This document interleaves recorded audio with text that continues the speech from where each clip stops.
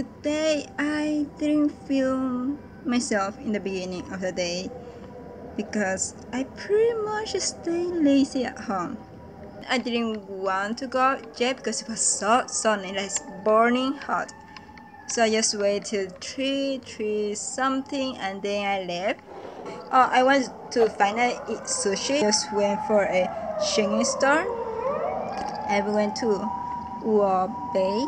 I ate how much? Nine plates. I went to Daiso. I bought some stuff. Wait, this popular. They have Spanish here. The Detergente líquido para esponjas Dam. Dam. This is like a soap for your makeup sponges and brushes. It is like very high rated, so I decided to buy one and try it. Then I remember they saying that the furikakes are tasty there. They have like three flavors, but they all look the same. Just went for the green one. My sister wanted um, me to go to the monumental statue of Hachiko. So like okay, it's not that far from here, so I went there.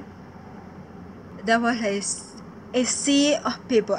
After I got there, to the other side, right there, uh, was the part where Hachiko thingy is. That place was super full. I, I stand there like, where is Hachiko? Okay, it should be in the middle of this part. So I just walked a little more and then saw it. I saw it. Tomorrow I have my orientation at um, 2.30 in the Kanjama. So yeah, uh, let's call it a day. See you.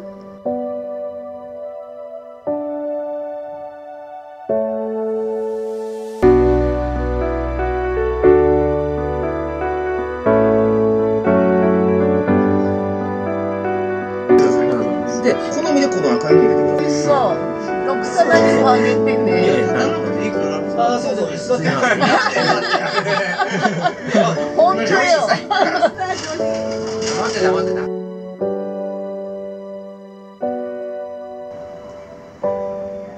It's Friday night. Like I already had like one week whole days of classes. Honestly, the first day of class, I felt so out of place. Most people, like most, like like two third, or how do you call that? For fifth, they knew how to talk Chinese, mainly Cantonese. I'm so sorry, I don't speak neither Mandarin or Cantonese. I can understand a little bit, but I don't speak those. I speak Hakka. I will just leave around 10.30 to almost 11. I will leave to school because I need to be there before um, 12 and then finish classes from 6 to 6.30 and I arrive home around 7. So I haven't done anything interesting. That's why I haven't vlogged. But tonight, I went out with my house. Uh, she took me to this one unique ramen shop.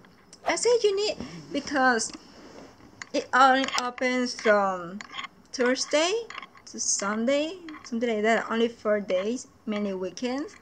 They close like for two months during summer and one month during winter, mainly in January.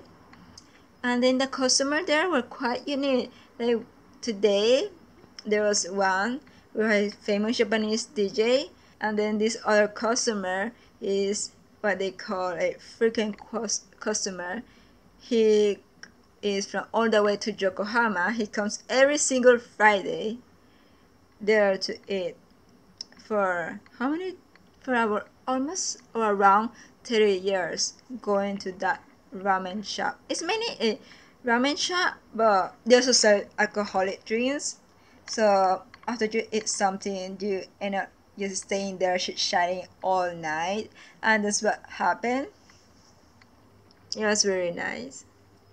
Thank you for the people I met.